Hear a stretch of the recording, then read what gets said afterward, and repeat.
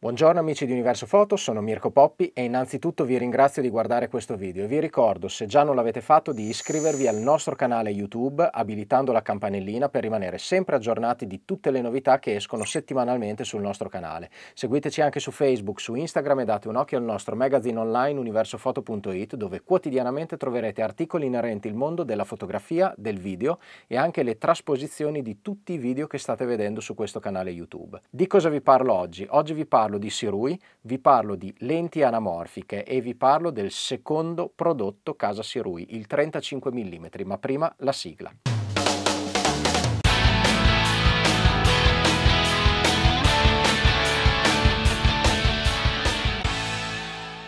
Sirui Abbiamo già visto in una serie di video precedenti, sia creati da me sia creati da nostri ambassador, la presentazione del 50 mm anamorfico che oramai è già uscita tanti mesi fa ed è stato un prodotto che ha suscitato veramente tanto interesse perché ha dato il grosso valore aggiunto di calare il budget di lenti anamorfiche dare la possibilità anche ai possessori di mirrorless di fascia, definiamola entry level o media rispetto al mondo delle cineprese, di poter utilizzare già un formato anamorfico ma non non solo un formato anamorfico che molto spesso viene emulato in post produzione facendo i tagli sopra e sotto per avere un rapporto, definiamolo Panavision, oppure viene emulato il tipico effetto del flare blu, molto effetto fantascientifico come in tantissimi film, oramai tanti software di post produzione permettono di farlo in maniera abbastanza veloce.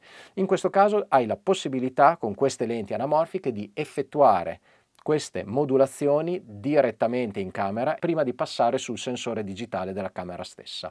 Vi ho già spiegato quindi nel mio primo video sul 50 mm queste caratteristiche veloci e essenzialmente con l'introduzione della nuova lente, quindi del 35 mm, ma vedremo anche in un video futuro la presentazione del 24 mm, anche quello in arrivo a breve nel mercato italiano, permette di avere le stesse caratteristiche, quindi andiamo velocemente a ripassarle. Le caratteristiche delle lenti anamorfiche sono la possibilità di avere un rapporto di forma molto più stretto e largo, quindi un 2,40 a 1, un 2,35 a 1, tipico del mondo Panavision e tipico di atmosfere più cinematografiche. Abbiamo inoltre la possibilità di creare quel tipico effetto flare blu bluastro molto fantascientifico, molto utilizzato in tanti film e telefilm, che dà quella parvenza un pochino particolare. Con queste lenti quindi si ha sempre la possibilità di farlo. Abbiamo anche l'altra caratteristica, l'effetto di avere uno sfuocato con un effetto bokeh un pochino ovalizzato, quindi tutte le fonti di luce che non rimangono nel piano focale dove è totalmente a fuoco,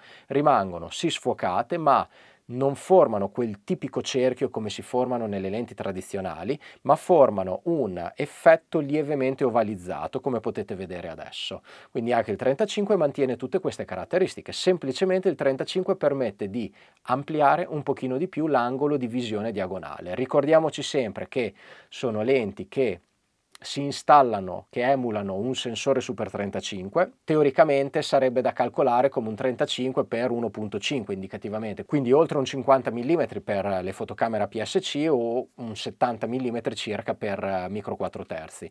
In realtà con il fattore anamorfico, quindi l'allargamento, definiamola così, di un 1.33 circa, permette di avere un angolo diagonale circa indicativo come se fosse il 35 realmente, con il rapporto di forma molto più schiacciato.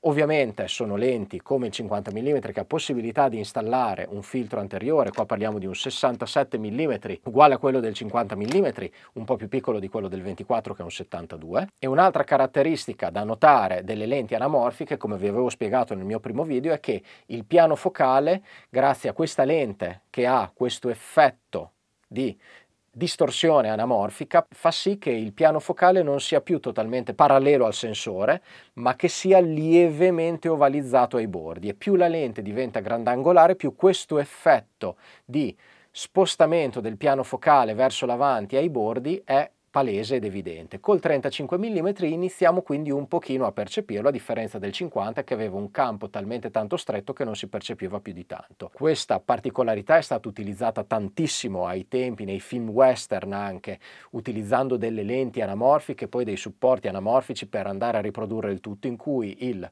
soggetto camminava dritto ma rimaneva un po' sfocato nella prima parte a fuoco e si sfocava di nuovo nella parte laterale. Non è il concetto delle lenti decentrabili e basculanti perché lì il piano rimane comunque dritto, in questo caso proprio si deforma e si ovalizza. Quindi il 35 mm permette di avere un pochino di più questa caratteristica. Il punto di messa a fuoco minimo siamo intorno agli 80-85 cm, quindi molto simile al mondo del 50 mm. Il costo è lievemente superiore rispetto al 50 mm anche per via dell'ingegnerizzazione, ma anche perché all'interno della confezione abbiamo anche le ghiere dentate per poter installare il movimento automatico di follow focus o il movimento fluido anche del diaframma stesso. Abbiamo come sempre la sacca di trasporto e in questo caso il 35 mm come viene presentato sul mercato. Abbiamo visto il 50 mm che esiste in tre diversi innesti, innesto Sony E, innesto Fuji X e innesto micro 4 terzi. Ovviamente innestandola su Sony E, essendo che la Sony ha sia formato pieno sia APS-C, vi ricordo sempre che dovete selezionare il sensore o APS-C o comunque Super 35 perché la porzione del sensore utilizzata è un Super 35. Parlando del 35 mm invece la strategia di Sirui è stata diversa, hanno fatto un'unica lente con innesto micro 4 terzi, quindi un innesto un po' più piccolo, e hanno creato alcuni anelli adattatori di semplicissima installazione, come potete vedere. Ci sono quattro viti, viene data in dotazione la chiave a vite a croce per poter svitare e riavvitare comodamente le quattro viti necessarie e non le altre e ve ne accorgerete sicuramente perché hanno un innesto totalmente diverso. Come si fa a installare il supporto? Semplicissimo, non dobbiamo andare a smontare niente della lente attuale ma semplicemente andiamo a posizionare sopra il supporto con la baionetta nuova appoggiandola nel punto in cui si va totalmente a bloccare. C'è un piccolo pin in metallo che deve andare a coincidere con quello sotto in modo da non muoversi. Posizioniamo le quattro viti e il gioco è fatto, il prodotto si torna a installare con grandissima semplicità. Quindi io in questo caso ho già installato